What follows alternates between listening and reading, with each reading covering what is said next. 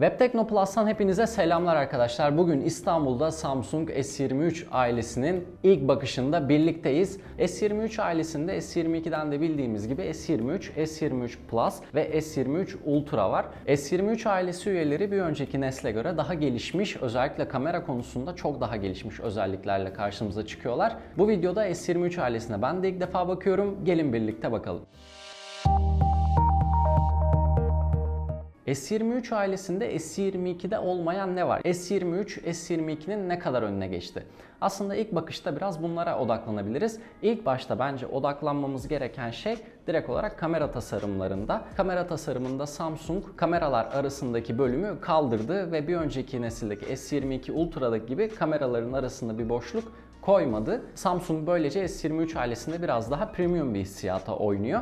Onun dışında tasarımsal olarak S23 Ultra'da bir gelişme var. O da S22 Ultra'da olan biraz daha edge tasarım ekranın yerini S23'te daha keskin hatlara bırakmış olması. Halen daha çok keskin diyemeyiz ama S22'ye oranla biraz daha keskin bir yan panel söz konusu. 3 telefonda Gorilla Glass Victus 2 panelle birlikte geliyor ve böylece çok sağlam telefonlar olduğu belirtiliyor. Onun dışında S23 Ultra'da çok önemli bir kamera detayı var. S23 Ultra'nın ana kamerası 200 megapiksele yükseltilmiş. Ve aynı zamanda S23 Plus ve S23'te de kamera sensörleri büyütülmüş ve bu sayede bütün senaryolar yani akıllı telefonla fotoğraf çekeceğimiz bütün senaryolarda kameraların yetenekleri oldukça artırılmış. Hatta şimdi yan tarafta bir gece fotoğrafı setup'ı var. Beraber oradan örneklerde göreceğiz. Sonuçları sizinle değerlendirmenizi bekliyorum. Yorumlarda buluşalım.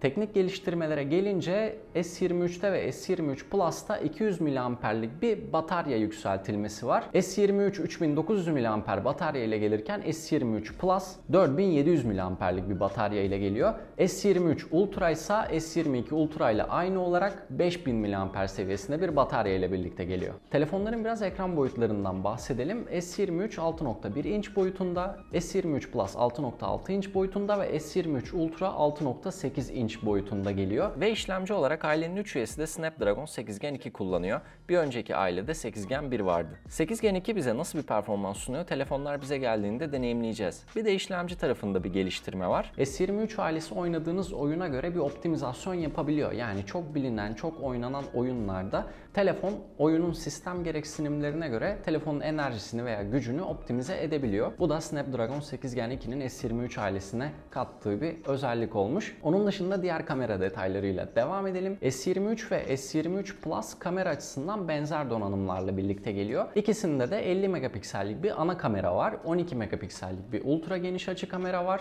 ve aynı zamanda 10 megapiksellik birer telefoto kamera yer alıyor. S23 Ultra'da ise ana kamera 200 megapiksel olarak gelirken ultra geniş açı S23 ve S23 Plus'la aynı olarak 12 megapiksel olarak geliyor. Telefotoda da durum aynı. O da 10 megapiksel olarak geliyor. Ona ek olarak S23 ve S23 Plus'ta olmayan bir tane daha telefoto kamera var. O da mevcut telefotoya bir 10x daha ekliyor ve o da 10 megapiksel. S22 Ultra'da da sürekli övdüğümüz telefoto fotoğrafları S23'te daha da gelişmiş bir şekilde çekebileceğiz. Depolama ve RAM taraflarına baktığımızda telefonların her biri biraz değişiklik gösteriyor. Aslında S23 mü, S23 Plus mı seçiminde depolama ve RAM farkı birini diğerine göre seçmenizi sağlayacak unsurlardan bir tanesi aslında. Direkt S23'e odaklandığımızda 8 GB RAM ve 128 GB depolama ve aynı zamanda 256 GB depolama seçeneklerini görüyoruz. 8 GB RAM burada değişmiyor. S23 Plus'ta da aynı şekilde 8 GB RAM ve 256 GB depolama görüyoruz. S23'ten farklı olarak 128 GB seçeneği Plus'ta yok. Özetle S23 ve S23 Plus'ta maksimum depolama seçeneğimiz 256 GB. Ama daha da çok depolamaya ve RAM'e ihtiyacınız varsa aynı zamanda ekran özelliklerinden dolayı S23 Ultra'ya da yönelebilirsiniz. Çünkü onda 256 GB, 512 GB ve 1 TB'lık seçenekler var ve aynı zamanda 512 GB'lık ve 1 TB'lık versiyonlarda 12 GB RAM mevcut. Yani burada siz tamamen performansa odaklanan bir kullanıcıysanız yönelmeniz gereken ürün eğer ekran boyutları sizin zevkinize uygunsa S23 Ultra olacaktır diyebilirim. Telefonla ilgili edindiğimiz teknik bilgiler bunlardı. Şimdi biraz da kişisel yorumlamaya geçelim. Kişisel olarak ben öncelikle hani tasarım konusunda bir yorum yapmam gerekirse aralarından özellikle S23'ü çok beğendim. Ekran boyutuna göre bence en taşınabilir ve en rahatlıkla kullanılabilir telefon S23 gibi geldi bana. Ama eğer siz 6.1 inçlik bir ekranı tercih etmiyorsanız 6.6 inçlik S23 Plus'a da yönelebilirsiniz. Dediğim gibi bunlar kişisel yorumlar. Tasarımsal açıdan benim en çok hoşuma giden telefon direkt S23'ün kendisi oldu.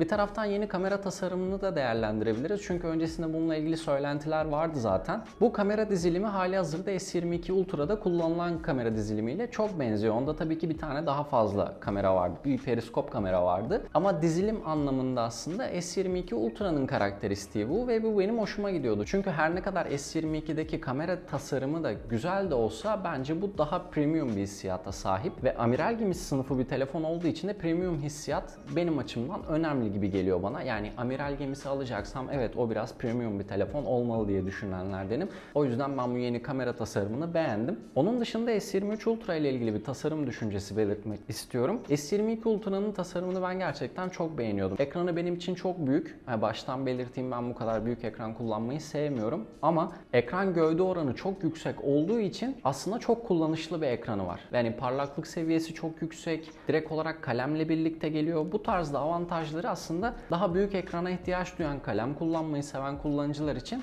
çok güzeldi. Tasarım fikri devam ettirilmiş. Sadece S22 Ultra'da olan Edge yan paneller biraz daha keskinleştirilmiş.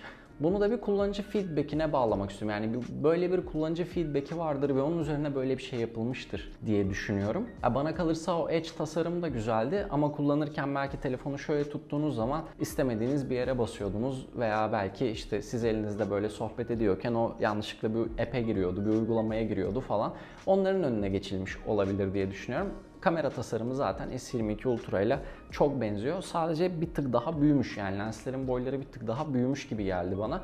Dediğim gibi bizim elimize geldiğinde bunu S22 Ultra ile birlikte de karşılaştırırız. Bunun sebebi de bu arada yani bütün aile için geçerli bu sensör boyutlarının büyümesi. Yani daha iyi fotoğraf için kamera sensörlerinin büyütülmesi. Bunu zaten aşağı yukarı çoğu telefon markasının yeni ürünlerinde özellikle amiral gemisi sınıfındaki telefonlarında oldukça görüyoruz. Bence S23'te de Samsung kendi karakteristik tasarımını korumuş. Video sırasında dediğim gibi burada kısıtlı bir vaktim var ve teknik açıdan öne çıkan özelliklerden bahsettim.